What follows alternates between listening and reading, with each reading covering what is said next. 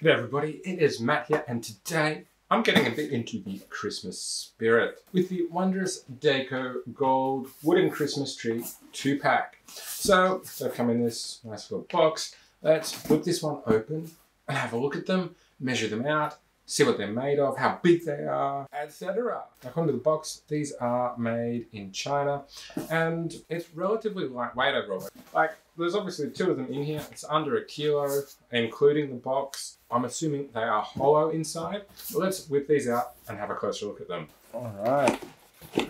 So in the box, we've got our two trees nicely wrapped up so they're safe and sound. And yeah, we are hollow on the inside, which is making them nice and light. Feels like a bit of like a kind of chipboard, molded chipboard on the inside. And I reckon that's exactly what it is because like you can see uh, some of the, the molding in there.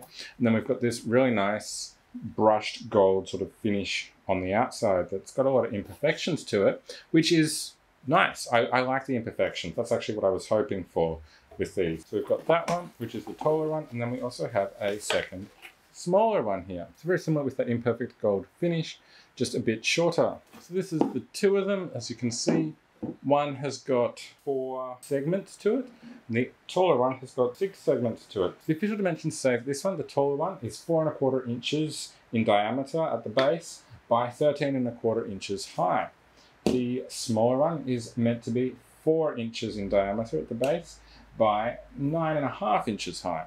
So I thought give these a quick measure and see how they stack up. But I am indeed getting about 13 and a half inches Obviously at a bit of an angle, it might actually be less if it's not angled, it might be closer to 13 and a quarter, probably pretty close to that 13 and a quarter. And then in diameter, we are looking at four and a quarter inches, so that's pretty accurate. So I'm expecting the smaller to also be pretty accurate. Look at the base first, four inches, pretty much right on the dot there. And then in height, about nine and a half inches. So exactly as per the specs. So this is them. I really like the look of these. So let's go put them in place somewhere and see how they look. So I've actually put them here on top of the range hood in the kitchen, along with a painting, which is a nativity scene, and along with a little matching frame with gold writing in it, which I think looks really nice and lead up to Christmas. And I think these two trees balance really well and look great together for a nice minimalistic style that is both modern and rustic at the same time.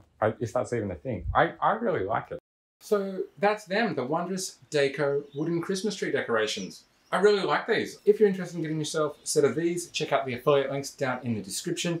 And of course, give this video the thumbs up and subscribe to my channel for more videos like this from me. Bye for now.